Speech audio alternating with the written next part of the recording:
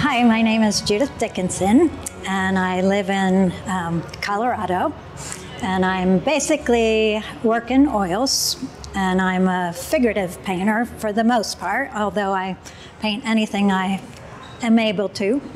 And uh, so I love to do faces. And ever since I was a little girl, I was attracted to people's faces. So a good part of my art um, is about people and their faces and the emotion that they convey. So I do uh, Western art and I do African art and then I do portrait commissions. And with my art, I also like to tell a bit of a story. So I like you to look at the art and think, I wonder what's happening in that piece, or make up your own story about what I do.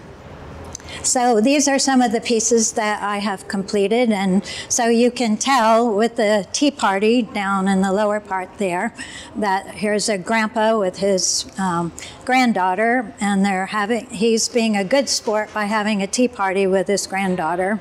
And then the sea captain up there. I love painting horses in my Western uh, collection. And then uh, portrait commissions. Um, I also have some down here.